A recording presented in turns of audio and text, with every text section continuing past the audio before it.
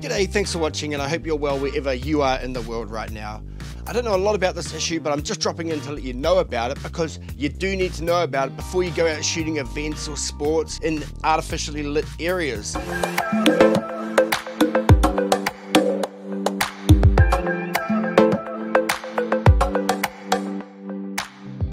Okay, so this issue relates to the Canon EOS R, and it may also relate to the Canon EOS R5 and R6. I don't have a copy of those cameras. I would be interested to know from you, if you do, if this happens on those cameras. Either way, you need to know about it to test it, because if it does happen, it could be an issue for you. It relates to the silent shutter. The silent shutter is an amazing feature. I have loved using the silent shutter in so many situations, just like if you're in an enclosed space, maybe you're taking photos of a young child or an animal, or you don't want the seagull to jump, or you don't want the cat to wake up, something like that. Just whatever the case may be, silent shutter is terrific. It's really, really good.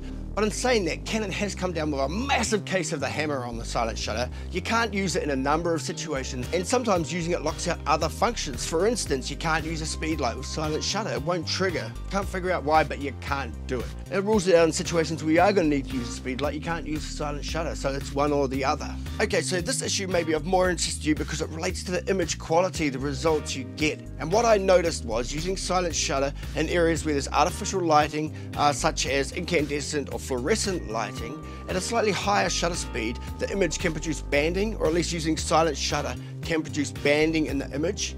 And it seems to come about from about 1 250th of a second upwards in speed. I'm going to show you some examples here. And as you can see from the slower shutter speeds, you can't quite see the banding, it's not coming through.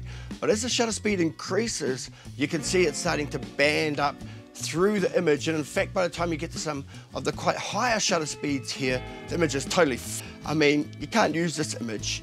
And I actually had a couple that turned out like this in a situation where I had deliverable objectives. So it was a little bit tricky to sort of work around. I had to pick out the ones that I'd use the slower shutter speed and uh, pick out the sharp ones because of course with the faster shutter speed you're using that for a reason and if you're in a situation where it's artificially lit and you've got the ability to use a faster shutter speed you know it'd be fantastic to be able to use a silent shutter and get the images you, you would without it it's just that extra layer that's not being given to you, right? Because you can use the high shutter speeds in those situations with the artificial lighting. You just can't use the silent shutter.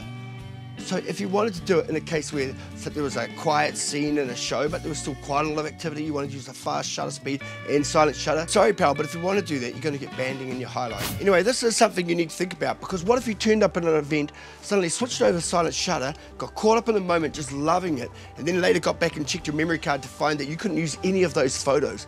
That would really annoy you, and, and whatever time you'd spent getting those photos. So know it in advance.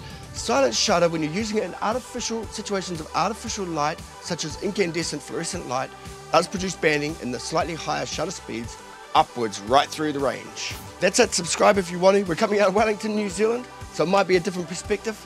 As always, hit that like button, please, and have a great day. We'll catch you on the next one.